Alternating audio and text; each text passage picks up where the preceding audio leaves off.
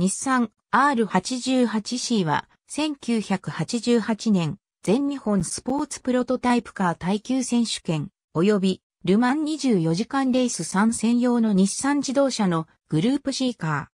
ー。日産 R88C 前シーズン用に日産が購入したマーチ 87G シャシーのモノコックを流用し、ホイールベースを延長、日産内製のカウルを装着して独自のものとした。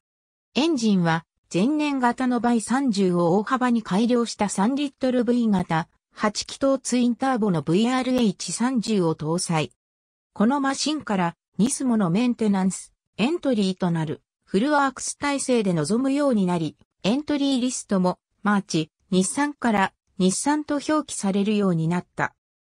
前年のマーチ 87G では、ホシノインパルはブリヂストンタイヤ、ハセミモータースポーツはダンロップタイヤを装着しており、エンジンは同じでもタイヤの直径や幅に微妙な違いがあり、1台ずつエンジンの調整やトランスミッションの設定を変えなくてはならず、データの共有もできずに熟成が遅れたため、ワークスチームとして2台ともメンテナンスし、タイヤをブリヂストンに統一したと、オートスポーツ市場で南波康春が語っている。デビュー戦は1988年 JSPC 開幕戦となる富士 500km。降雪の影響で事前テストが不足し、エンジンの熟成が不十分なままレースに臨み、1台は電気系トラブルでリタイヤ、もう1台は規定燃料を使い切りリタイヤとなった。2戦目の鈴鹿 500km、3戦目の富士 1000km は、共に2台揃って完走。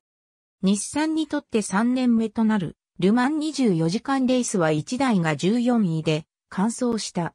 以後速さも加わり、富士500マイルでは予選でポールポジション獲得、決勝でも3位表彰台を獲得した。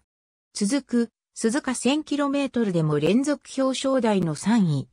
期待された WEC ジャパンではマイナートラブルで9位完走に止まった。このレースから日産ニスモ陣営はテレメトリーシステムを本格導入している。R88C はあくまでマーチ 87G の改良版であり、暫定的なマシンであったが、日産、ニスモはこのマシンにより、耐久レースにおけるチームの総合力を高めていくこととなり、それは翌年の R89C 以降で開花することになる。